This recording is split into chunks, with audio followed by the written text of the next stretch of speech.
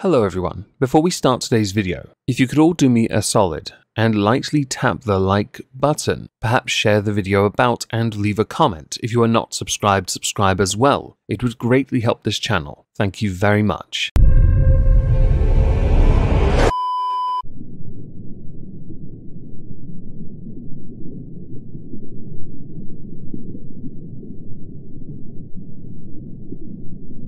Isn't this just fantastic?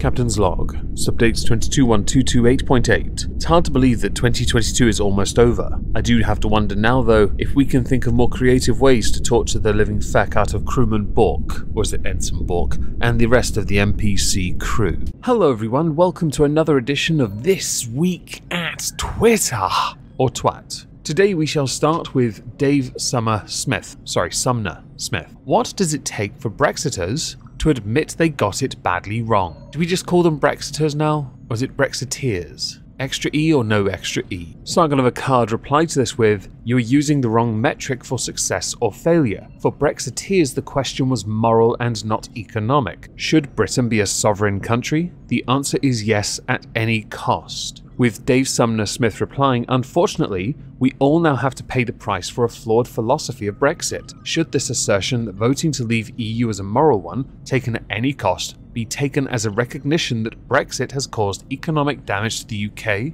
The answer remains you are seeing beyond the original point. I voted Brexit because I didn't like that others were in control of this country. And that's a point. We as a sovereign nation dictate what we as a sovereign nation do. If another government overrules this country's government, we are not in control of our own borders, our own laws, our own economy, our own trade. The responsibility is on us to make a better future. If one is unable to see that because they simply think, ah, oh, yes, but if we just gave up all that and we're here, we'd be fine, chances are you are not thinking about the bigger picture of how important it is for us to be us. And I always believed that we could economically do better in the long term. It's just a shame, really, that the current government is, well, what it seems to be a race to the bottom to destroy the economy in the process of protecting private interests that aren't thinking of long term solutions, but only short term dividends from, well, shares. It's also a shame that no one's holding China accountable for something that may have involved bats.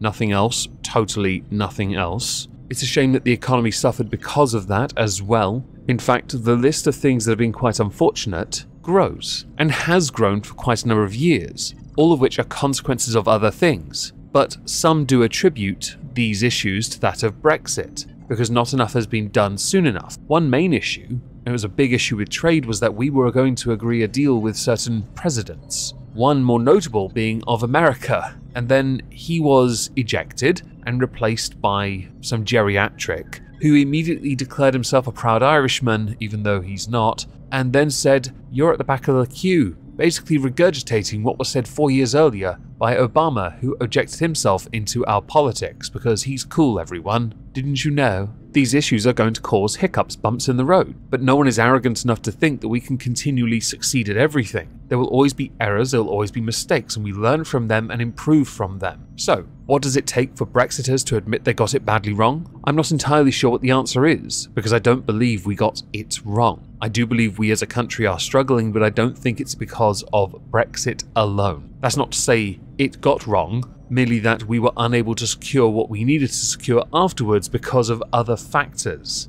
which can be argued by some to be a metric of failure and or success. Again, we are free, and that to me is a success. I've always believed with hard work, success will follow, i.e., hard work pays off. My belief is that through perseverance, hard work, dedication, and respect, John Cena style, of course, this nation will benefit from us no longer being tied to the European Union. A couple replies underneath it took my interest. The Reverend Calvin Robinson. Some of them will never understand this, and that is why they lost. In reference to Sargon's reply, that is his response. Paul Davis. It was immoral, because it was in the main supported by bigots, racists, and people who wouldn't give the peel off their orange to someone who was starving. With Tony D'Angelo replying, or, check this out, you were told they were those things so that you wouldn't listen to them. Brexit is about sovereignty, full stop. That's it. Anything additional is unnecessary. Others pointing out that by being a part of the EU, it was just a marketplace, everyone, even though they tried to create an army, uh, that's interesting. Uh, overruling a number of issues, in fact, when it came to internet policing in other nations. Uh, yeah, it's it's not that you colossal thunderfuck. So, courtesy of Keemstar, Logan Paul has blocked multiple YouTubers criticizing him for his recent CryptoZoo controversy. Underneath an image of Logan Paul blocking somebody. I don't know who though. To be honest, it could actually be Keemstar at this point. Who knows? I did find an article though, and I know a few YouTubers, Kavos more notably, has covered the subject. The article in question that I've linked down below, Logan Paul is impressed as a part-time member of the WWE roster, blah blah blah. Coin Edition has a report that exposed Paul's CryptoZoo game as nothing more than a scam. Paul's fun game claimed to enable users to earn money. However, users were left with nothing more than stock images of zoo animals after millions of dollars in investor money. A YouTuber by the name of CoffeeZilla spent the past year investigating Paul for a three-part docu-series. He asked one of the victims, who lost $7,000 under CryptoZoo, if the passive yield ever worked for him and if he ever made money. The answer is no. CoffeeZilla investigated the scandal, and Logan Paul blamed the developer of the game for its failure, stating that the developer created a code and then ran off with it to Switzerland and wouldn't return it unless the YouTuber paid him $1 million. CoffeeZilla shared that due to Logan Paul's influence, people spent millions on the first day, people bought $2.5 million worth of eggs, and the game wasn't even launched at the time. CoffeeZilla then called Logan Paul's manager who replied to the crypto investigators with a no comment response, which in turn does not do him any favors. For the sake of what is going on, I'm going to link CoffeeZilla's videos and Kavos's down below. It does look like a scam, I'm not going to lie, it really does. I don't do crypto for a few reasons. One, I don't want to be like Boogie2988. Two, I like actually having cash in my hand. And three, I don't understand cryptocurrency in the slightest. So I always advise people if they're going to invest their money, please do not invest in cryptocurrency. That's not some kind of economic genius advice. It's just I cannot back something I don't understand, okay? That said, I will never tell you what to do in the first place. When it comes to making informed decisions, the onus is on you after all, not me. I will present the information I have to hand, what I have found, and I will tell you what I think. In this instance, it looks like a scam, and annoyingly for Logan Paul, his name is associated with it. Blocking people as a response for being called out for it is not a good look. I get you're going to get called out, you're going to get negativity, but you, Logan Paul, have been getting negativity for years and you have been rebuilding your reputation. It was in the mud for a long time. You rebuilt it, be the bigger man, take the licks, take the lumps, and when everything is there and available to present it, if you want to present it to clear your name as it were, by all means do so. You don't have to, but for your reputation's sake, it would look better on you if you weren't blocking people criticizing you. There are going to be reactive and reactionary people on any given subject. You know this. You're on the internet. You've made a career on the internet. I saw how much flack you got for making a table out of Game Boys, which I thought was absolutely gorgeous. I've got like three. Can I have like a can I have a bedside table with that? A Game Boy, Game Boy Color, Game Boy Advance. Can, can I have that? Can you make that for me, please? Please. Anyway, moving on. Boobs. Testing one two three dot dot dot. Tweeted by Among the Wildflowers. Reply from Herschel Bates. I cannot stand that word. It's so degrading to women, brackets in my opinion, close brackets full stop. Ratioed, by the way.